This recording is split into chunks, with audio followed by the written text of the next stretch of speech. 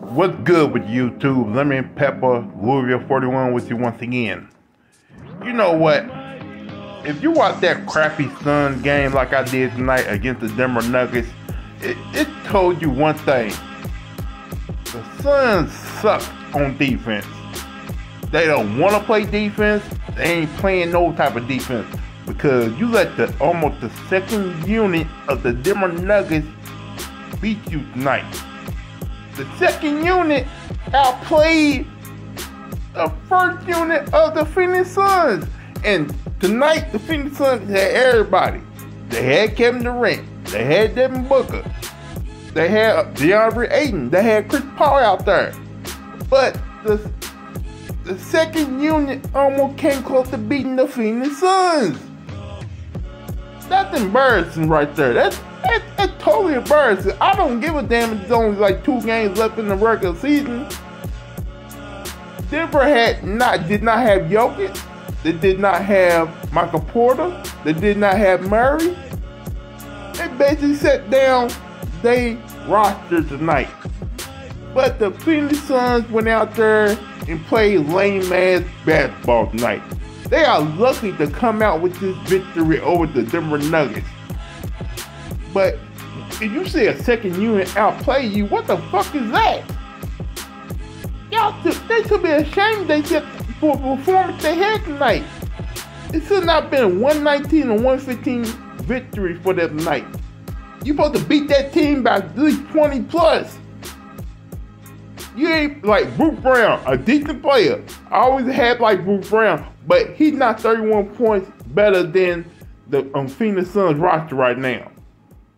And you folk, and I supposed to fucking believe this Phoenix Suns roster is going to win an NBA championship? After, after, a game, after a game like that and get the Denver Nuggets? I supposed believe that? Man, get the fuck out of here with that crap. If Golden State or Lakers end up beating them in the first round, then what that tell you about Kevin Durant? What that tell you about Devin Booker? What that tell you about Chris Paul?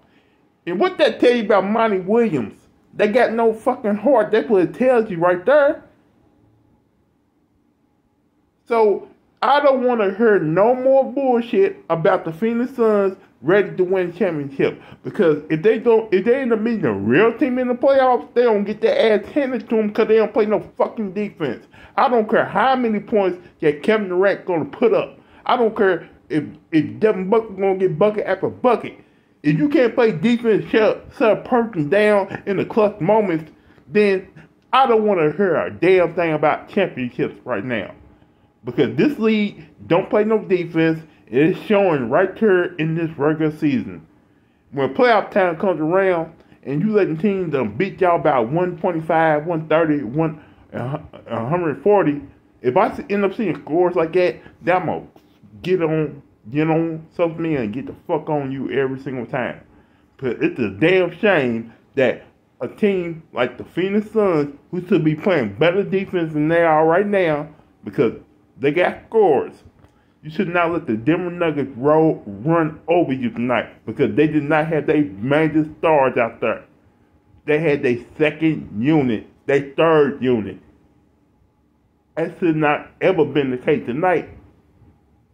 So let me go now down in the comments what you think. You think the Phoenix Suns is ready to win a championship, or they just another, lame team who can put up points but don't want to play no fucking defense? Other than that, hit the hit the like and the subscribe. But if not, I don't give a damn no more. Peace.